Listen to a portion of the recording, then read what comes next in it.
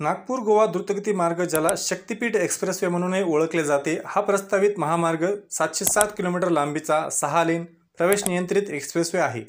जो महाराष्ट्रातील तिसरे सर्वात मोठे शहर म्हणजेच नागपूरला गोवा राज्याशी जोडणार आहे.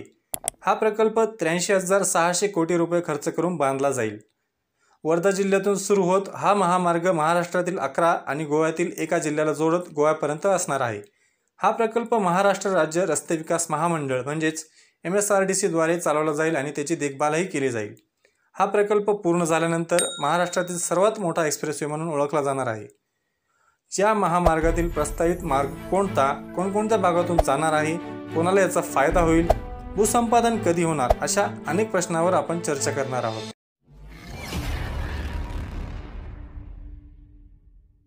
नागपूर गोवा एक्सप्रेसवेमुळे महाराष्ट्रातील नागपूर आणि गोवा यांच्यातील कनेक्टिव्हिटी वाढून नागपूर आणि गोवा दरम्यानचे प्रवासाचे अंतर एक हजार एकशे दहावरून सातशे सात किलोमीटरपर्यंत कमी करेल आणि वेळ एकवीस तासांवरून अंदाजे आठ तासांपर्यंत कमी होण्याची अपेक्षा आहे.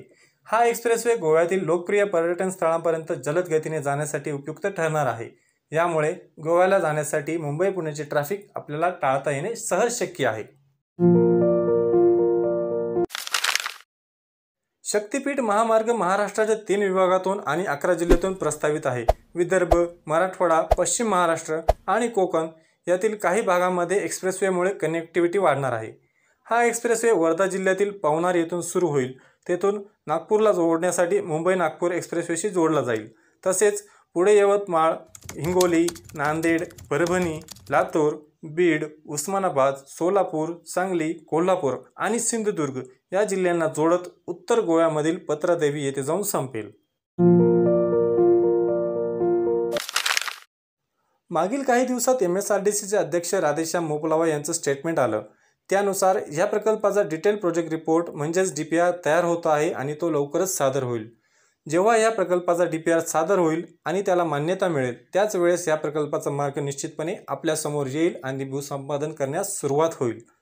ऐंशी टक्के भूसंपादन झाल्यानंतरच प्रकल्पाचे काम खऱ्या अर्थाने चालू होईल आणि त्याचबरोबर उर्वरित भूसंपादन करण्यात येणार आहे.